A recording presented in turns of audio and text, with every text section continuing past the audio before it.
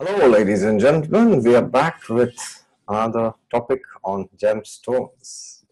I rarely make videos on gemstones, and I have made one or maybe two videos till now. But somebody asked me recently in some video that which is the best gemstone for me, mm-hmm.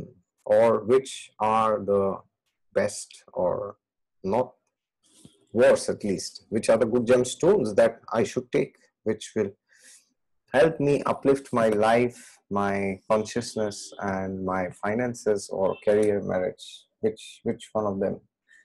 All right so there are many gemstones as you know. Uh, i will not keep listing all of them here. You can search them which gemstone is for which planet which finger you should wear it how you should wear it when you should wear it. All this you can talk to your mentor or your local astrologer and they will guide you properly regarding this uh, much better than me. But what i want to speak here is some principles which will help you to judge which gemstone you should take so first of all you have to understand when you talk of gemstones what does it mean? What does a gemstone do? You have to understand that okay? If you don't understand that you will be going round and round and nothing will make sense okay? So what does a gemstone do? So when you wear a gemstone here in your hand or your neck or as a bracelet or wherever what happens is suppose you wear a, a emerald which is green color which is known as panna and this is for mercury okay? So what does it mean when you wear an emerald? What happens exactly? So it means that because you are wearing that gemstone the your body your mind becomes more receptive to the energy of mercury. That strengthens your mercury. Okay. Now i'm very careful with my words. When i say strengthen i don't mean to say that improves your mercury. Okay. There's a difference so what does it mean? It means that if you have a problem in Mercury, it will strengthen the problem also. Okay, so long story short, whatever the planet is indicating, whatever, whichever area, whichever area it indicates progress or downfall, all these will happen simultaneously with you because that planet becomes very strong. It's like he comes and sits on your head now because now you are inviting that planet exclusively by wearing that gemstone okay?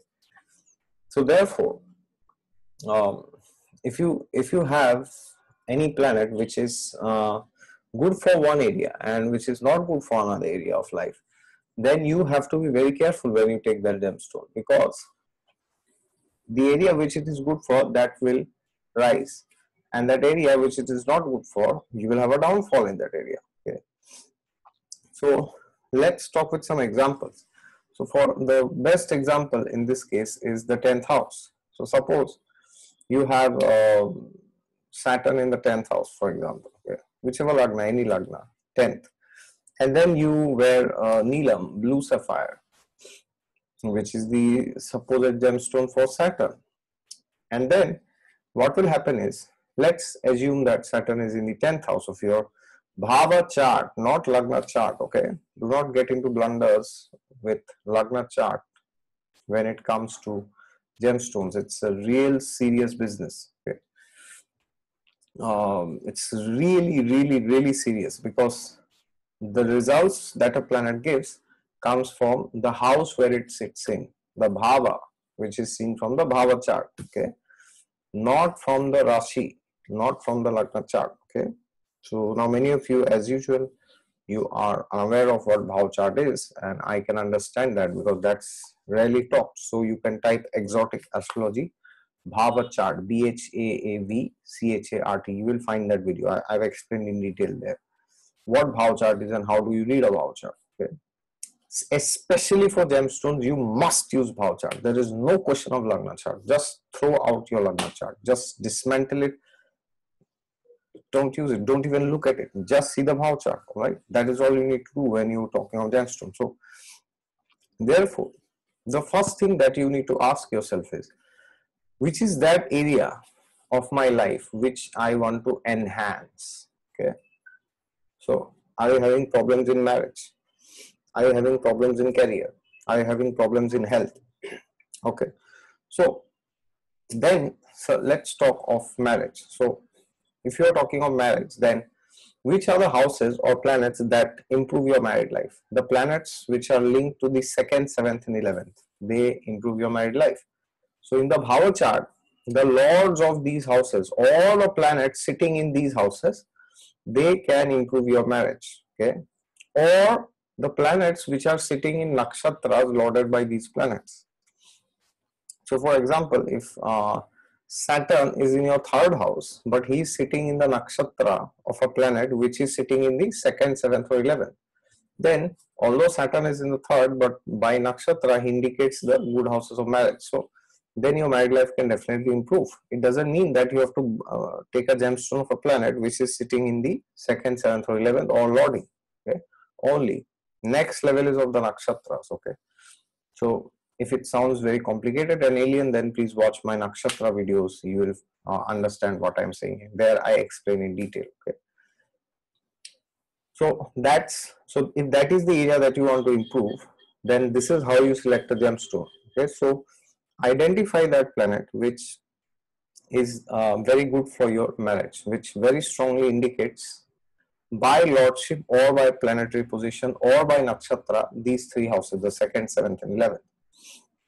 Then, if you want to progress in career, you have to check the second, sixth, tenth, and eleventh. Okay, but among them, six and ten are very dangerous. Why do I say dangerous? Because although they are houses of marriage uh, sorry career progress but they are denying your marriage okay so if you are planning to get married during this time then uh, during this time means uh, if you are of marriageable age so then it is not very recommended to take these gemstones okay at least for the first five years of your married life it's uh, it could be very detrimental for you. Uh, but you can take gemstones of the planets which are signifying the second or 11th because they help both in uh, career and as well as marriage. Okay so uh, the now for 10,000 6,000 you can take uh, but that should be taken in uh, extreme scenarios like you are really under a financial crisis or something like this. Otherwise i never never never recommend gemstones of planets which indicate the sixth and the uh, or the 10th okay? Because that can lead to severe crisis in your married life which which makes your life very imbalanced okay? Then when you're talking of childbirth then which are the houses of childbirth? The second fifth ninth and 11th so the planets which signify these houses the second house fifth house ninth house and the 11th house by lordship position or by nakshatra these are the planets whose gemstone you should take okay, you could take then let's talk of health. Which are the houses which indicate good health? The fifth house is the house of cure. It's the 12th from the sixth house of disease. Okay, and the ninth house is the house which is the fifth from the fifth. So the trines support your health. They make you more healthier. Okay. So planets which indicate these houses, these gemstones you can take, you will benefit from them hugely, largely. And if you want to talk of property, then something which indicates the fourth house or um, yeah, fourth house, eleventh house, twelfth house. These these gemstones could be good for you, and these planetary gemstones. So that's how you decide which gemstone is good for you. Okay, and do not worry much about the sign. So many times people say that uh, my sun is in debility. Okay, so uh, should I take a ruby? So my question to you is, Sun is in debility, but which house is Sun in? Okay. So if you're a Capricorn Lagna and Sun is in your 10th house, then you are warned before that this could be very detrimental for your married life.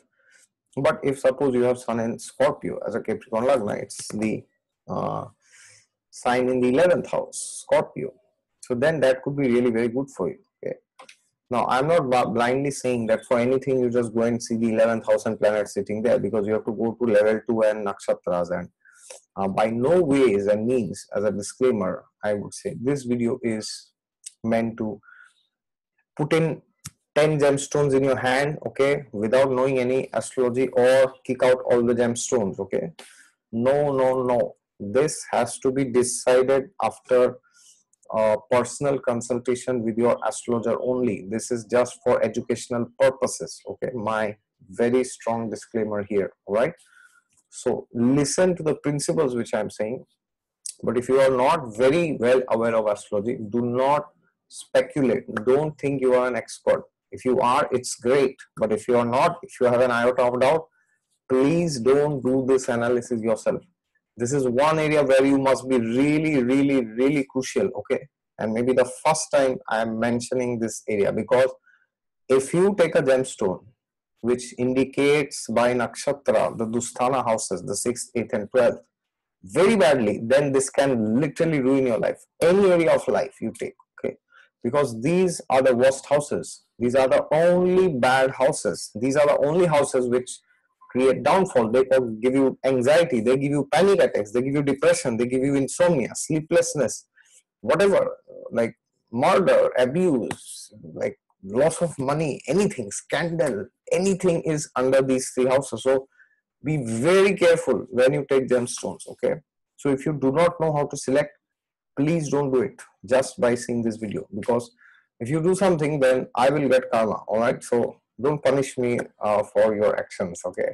So please talk to your uh, personal astrologer and only then you should uh, decide. This is a very strong disclaimer from my side all right so therefore uh, you have to understand that um, if you take a gemstone then whatever the planet signifies if the planet signifies depression that will also increase okay? So therefore uh, if you're seeing the good side don't forget the bad side also now, there are extraordinary situations where you really need to progress in one area of life. Okay, so suppose you are married, but you're not having uh, any money to feed your family. Then, well, what do you do? Then you you could take a gemstone which signifies the sixth and the tenth. Of course, after consulting with your astrologer. Okay, very important. Why? Because um, if, if you are not able to maintain your family only, uh, then uh, I mean that will anyways create a lot of problems in your married life later, right? Uh, not your married life, but that the family uh, circumstances will be disturbed, especially in Kali Yuga, because in Kali Yuga, people have lofty goals, lofty aims, lofty lifestyle, all right? That is why they're miserable all the times. So, in such a extraordinary situation, in such an emergency, you could take a gemstone which signifies the 6th or the 10th but for normal people please please please do not take. I have seen marriages breaking apart because of these two houses okay? Please abstain from taking gemstones.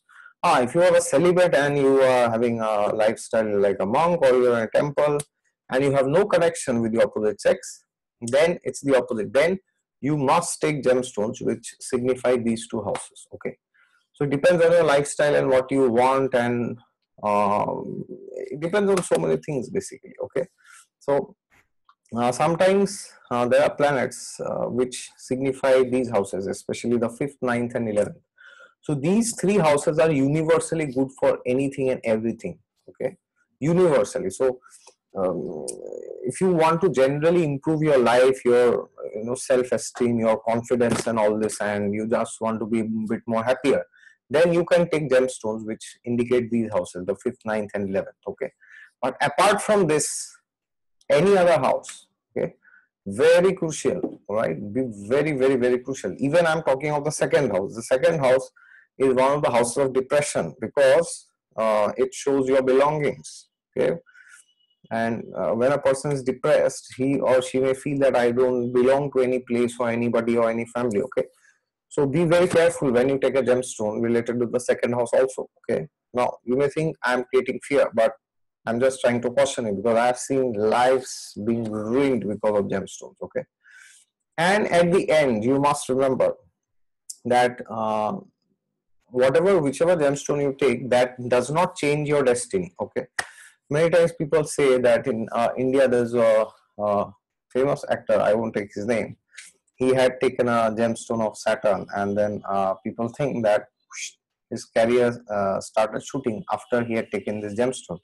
These are these are all false um, uh, propaganda which is uh, everywhere all right? So don't think that uh, karma is so stupid that you can just uh, cheat cheated by you know putting some stones in your hand okay?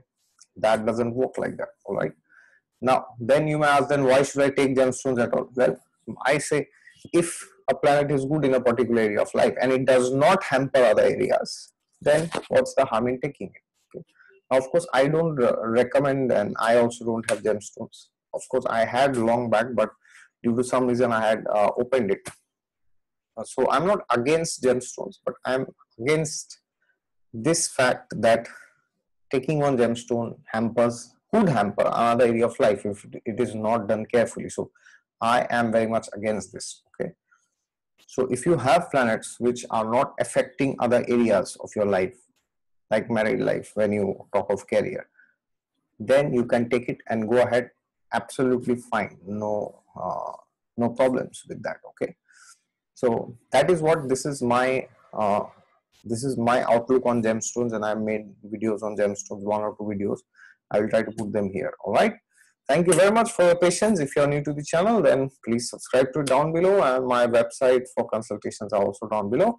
God is there with you all the time. Just look to him and you'll find him. And if you want to view other videos on gemstones i'll put them here. All right? Thank you